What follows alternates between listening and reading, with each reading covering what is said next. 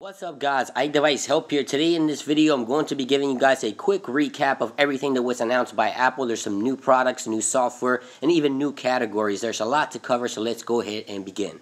Alright, so first let's talk about iOS 8. Apple has just seeded the Golden Master copy to developers today ahead of their September 17th release. So iOS 8 will be released to the public on September 17th.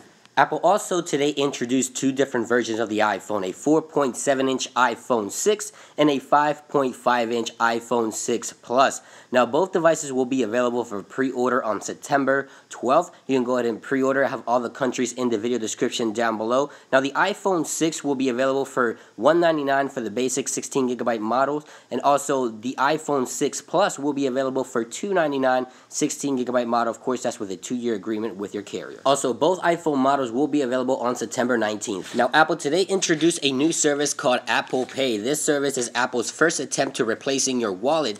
Basically, it works through NFC. You can go ahead and make purchases by linking your credit card to Apple's Passbook application. You can make payments at selected retailers and also add your credit cards to this payment system as you go. Apple Pay is now working with Visa, MasterCard, and American Express to provide services to make mobile payments. Now, also, the mobile payment validation works through the Touch ID sensor on your mobile device, so the information is secure and it's never sent to Apple servers. Apple also today had a great one more thing surprise for everyone, just like Steve Jobs used to do it back in the day, their most anticipated wearable, the Apple Watch. Now, the Apple Watch serves different purposes. It tracks your health with built in sensors to monitor your workouts and also provide all types of health information. But another cool feature about the Apple Watch is that you can reply and send messages through the Apple Watch and also call your favorite contacts and also keep up to date with the latest that's happening on your social networks with the Apple Watch and also reply. Now, the Apple Watch also requires an iPhone, a compatible iPhone,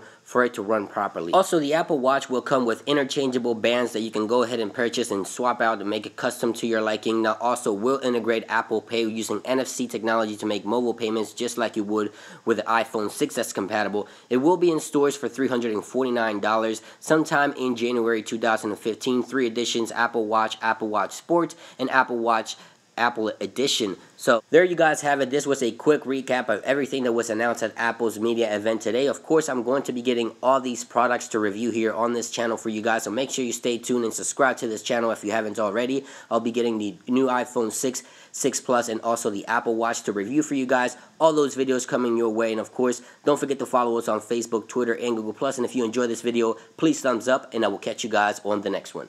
Peace.